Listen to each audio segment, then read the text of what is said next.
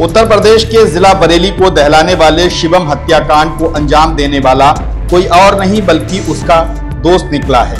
Mirganj police ने आरोपी इरशाद को मुठभेड़ में गिरफ़्तार कर लिया है।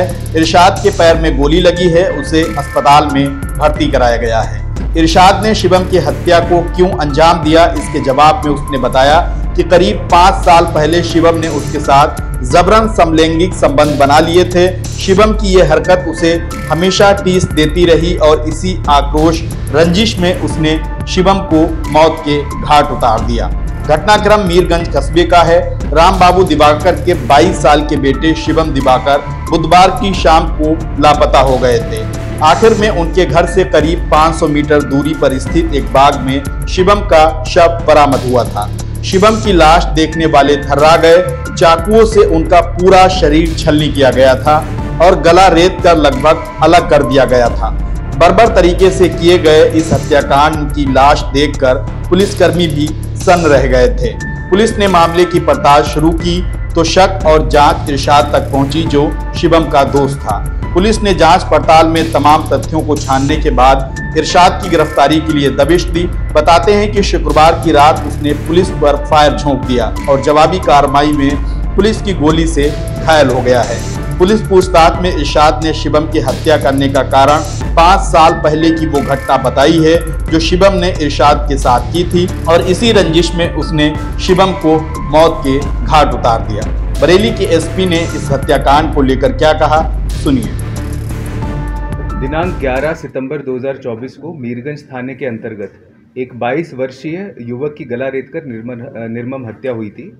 सीसीटीवी फुटेज और कॉल डिटेल्स के माध्यम से इरशाद एक संदिग्ध का नाम प्रकाश में आया था, जिसे आज प्रातः 14 सितंबर को गिरफ़्तार किया गया है। गिरफ्तारी के दौरान आरोपी ने पुलिस पर फायरिंग की थी, जिस पर पुलिस द्वारा प्रशिक्षण में सिखाए गए तरीके से जवाबी फायरिंग की गई आत्मरक्षार्थ, जिसमें जो आरोपी है, उसके पैर में गोली लगी है और उसे गिरफ़्तार करके अब भेजा जा रहा है और उससे पहले उसका उपचार के लिए भी भेजा गया है।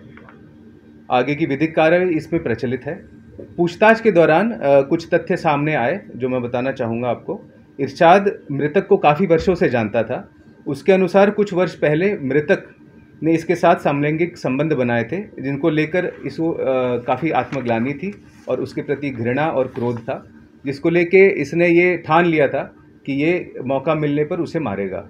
और दोस्ती के कारण इसने धोखे से जो मृतक है उसको शराब पीने के बहाने बनाया बुलाया एक निर्जन स्थान पर और उस स्थान पर बुलाने के पश्चात इसने उसका गला रेत कर हत्या कर दी। इसके अंदर अभी आगे की विधिक कार्रवाई प्रचलित है। जैसा कि आपने बताया तो क्या वजह थी और कहाँ से सीखा या कोई तरीका अपनाया जो इसने हत्या करने का?